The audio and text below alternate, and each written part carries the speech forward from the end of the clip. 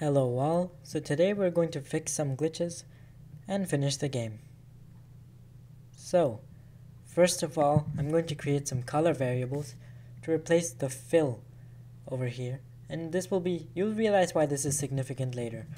But first, so color of the left paddle is color green. So this is RGB.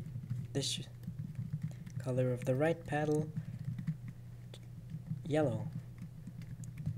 So yeah, this is a neat variable that processing has. And I'm just going to replace this with color L and color R. And if I play this, it's still the same thing. The left is green, the right is yellow. Next, we're going to eliminate a glitch, this glitch. Do you see that? That happens when you hit the ball with the corner. I'm not going to make it the collision look realistic, but I can at least eliminate this glitch. So if speed x is less, so here where we have the contact with the paddle, I'm going to check if the speed is, if the ball is going left, only then do we want to change the speed, um, the speed's direction. We don't want to keep changing directions, which is the problem that we are experiencing. And here, if the ball is going right, only then do we want to change the speed and collide. If I, the fix was as simple as that, and now I should not have that error anymore, at all. And there we go. Okay. Next, I'm going to create a reset function and a way so the ball doesn't just bounce off the wall. We want the ball to reset. So where do we deal with this? We deal with this at bounce off. One of our methods. This is where the ball is bouncing off the wall. So if it hits the right side of the, if it hits the right wall, then we want it to go through setup. That is it, we want it to reset we want to call this method the initialization. We want to initialize the whole game. I'm going to do that again. And I will. Okay, so if I do that, see, it starts from the beginning every time. And if I lose on the left side, it still goes on the right side. So I don't want the same speed. So I'm just gonna do that. Hmm, that didn't solve anything.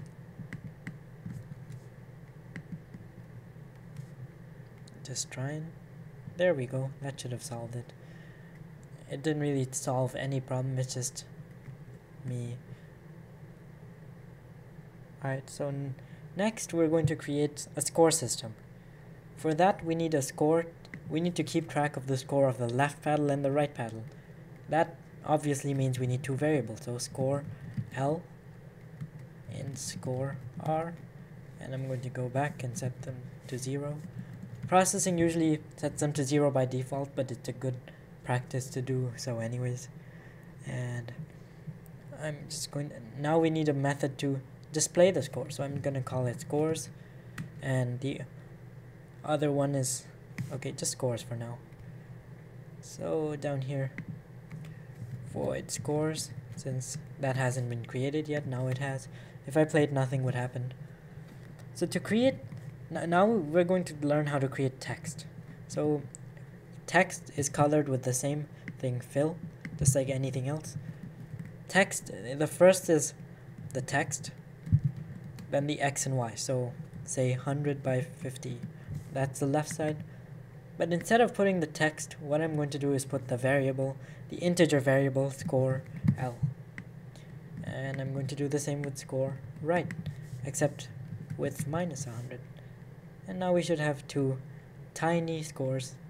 To increase the text size you should do so in setup so that doesn't keep looping. So text size it, I found this to be a pretty expensive thing. I might yeah whatever. So now we have font 30 you can change the fonts but I'm not gonna do that this tutorial because I'm pretty satisfied with this font. And every time we lose like that, say if yellow loses, then we want the left score to go up, that is green score to go up. So naturally we're dealing with this section here, and I think I can delete that. Um, score R, if we're at, on the right side, then score L, my bad, equals score L plus 1. And I'm just going to copy that and change that to R.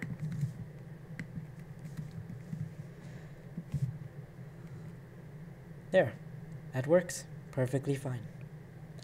So, okay, and it resets every time, and there. But this will just keep on going forever. We want a condition that when it reaches a certain score, we want to end the game completely. So for that, I'm going to create a winning score into win score. I'm going to call it 2 just for development purposes, but you can make it 11 or 22 or whatever you want for your game. So for that, I'm going to need another method in draw called, uh, you can call it anything you want, but I'm going to call it game over. So this is going to figure out whether the game is over. Void game over.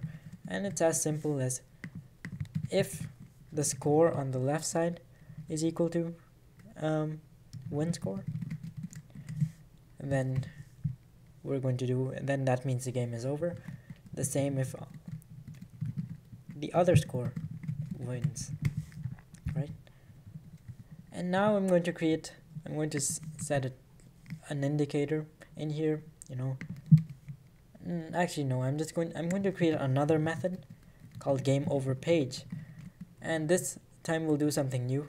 We will pass variables. I'm going to pass a new variable called string. This is basically text.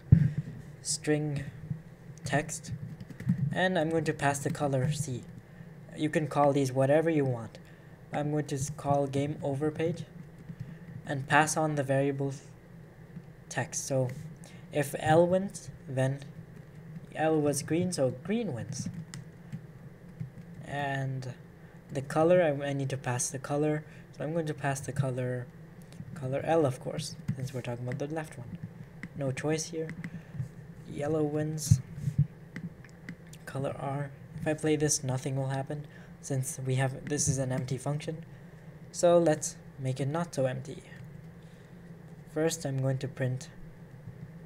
First, I'm going to freeze the game. So I want speed x to equal 0, speed y to equal 0.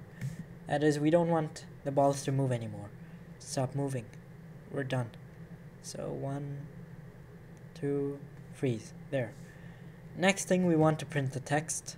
So text um, game over at width divided by 2 height divided by 3 minus 40 I'm just I know these numbers work actually there's something that won't work but we'll deal with it later. You know and here I want to set put this text either yellow wins or green wins just below that. And below that I'm going to say um, click to rest to play again. Sure. And this is going to be a bit below. And here the text will be colored the color I pass. That's why I pass the color and and now of course we need to create some wait so if we click and I want the whole game to reset. So um, we want the scores to equal 0 again we want this we want I think there's something that I'm missing here. But I'll I'll remember it later